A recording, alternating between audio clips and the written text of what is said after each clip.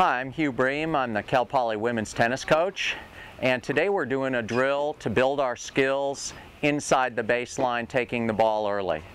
And Chris, who you see behind me, is going to position himself just inside the baseline. And his goal is to never back up behind it.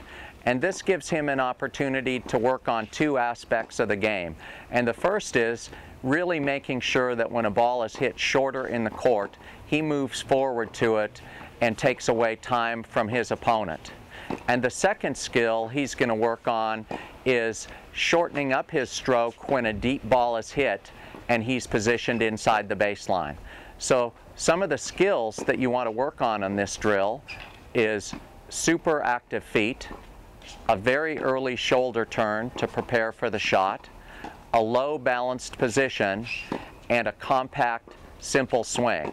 And when you master these skills, you'll find that you're rarely going to be late on a ball and you're going to have a lot more confidence against players who play with a great deal of power.